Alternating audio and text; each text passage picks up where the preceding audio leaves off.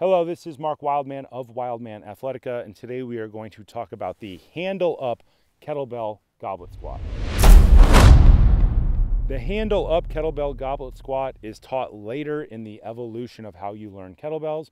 You tend to learn globe up first, or you should, because it allows people to create a counterbalance, which allows them to lean away from the bell, which allows people to improve their squat depth, which overall makes their squat performance better with heavy squats like barbell back squats, with intermediate squats like kettlebell squats, and with body weight squats. The handle up variation that we are going to do now keeps the center of mass of the bell closer to the body. So we want people to have better squat depth before they learn this. But this drill allows us to add a lot of two hand movements before and after the squat in later evolutions so we can add complexity to our movement.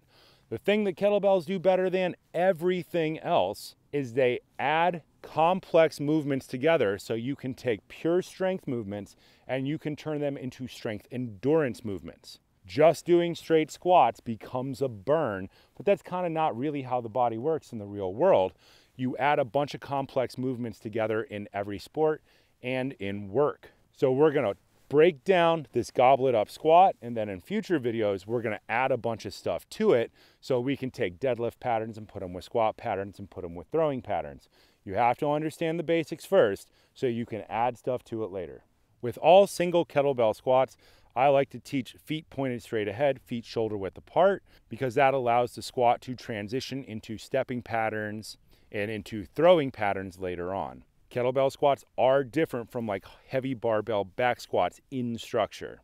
That's fine, use the appropriate technique for the appropriate implement. Step up to your bell, two feet point straight ahead, feet shoulder width apart, feet pointed generally straight ahead, because that's the way we would like to be able to walk. Thumbs point towards the sky, thumbs point forward, track down.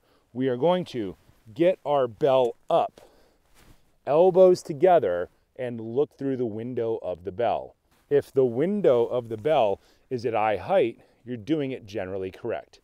Hands together, a lot of people will have elbows out in the beginning. That's fine as long as you don't drop it on your toes. Keep your palms underneath it. Track straight down into our squat. Elbows touch the insides of the knee. Lean back, back, back against the weight. Stand all the way up. Straighten your legs out all the way. Pull your kneecaps up. Squeeze your glutes. Drive your rib cage down. That is a cue for every type of squat. Stand all the way up at the top. No quarter reps, no half reps. Get our weight up, track down, elbows to the insides of the knee, lean back, back, back against the weight, stand all the way up. Get all the way down, lean back against the weight, stand all the way up lean back against the weight, stand all the way up. When we get down, the elbow position to the inside of the knee is key. If your elbows are down too low, you will notice it does not feel good at all and it places stress on the lower spine. Lift your elbows up to lift the chest up so you can lean back against the weight. Elbow position on the inside of the knee is crucial in all kettlebell squats. This kettlebell squat is generally regarded as more advanced because of the position of the bell. Because it is very close to your body, you have to have pretty good squat depth already in order to really make it effective. This is different from a bottoms up goblet squat where the bell is further away from the body, which we teach in the beginning to help people learn to lean back against the bell to help them increase the mobility of their hips. The other kettlebell squat is the rack position squat, where we're in rack position the other time.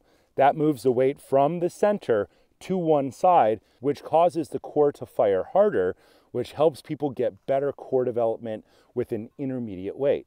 The bottoms up goblet squat you'll see used a lot by CrossFit athletes because it's more similar in structure to their barbell squats. Set the kettlebell down with good technique. When you are working out on different surfaces, you will find that your feet may move while you're in the rock bottom position.